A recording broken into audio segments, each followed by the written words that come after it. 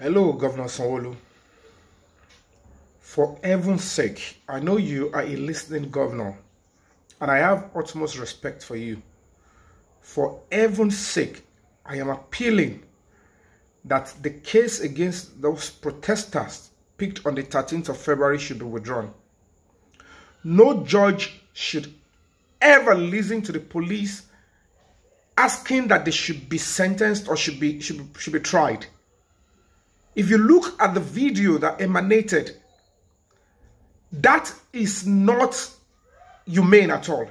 That should not represent what police prosecution should be under your leadership.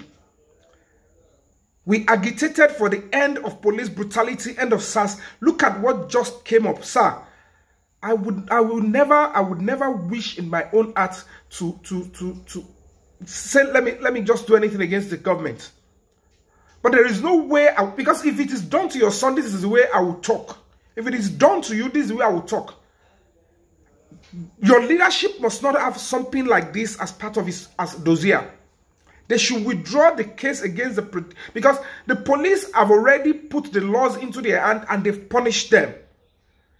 They allege that they were tortured, and we didn't see that, but we see the dehumanization. Look at the way they were packed. They were stripped naked. Armed robbers will not even strip you naked. In death, they will even cover you with cloth. The policing we are getting is not right. I don't know why the police officers are doing this or why they think it is the constitutional right to treat Nigerians this way. But sir, you can make you can make it better. From dignity of and respect to everybody in Lagos State, it will get to other states. Then we start having the because it is just not right, sir.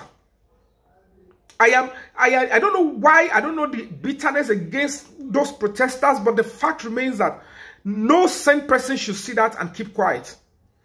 They should withdraw the case against them, and if possible, the police should apologize to them.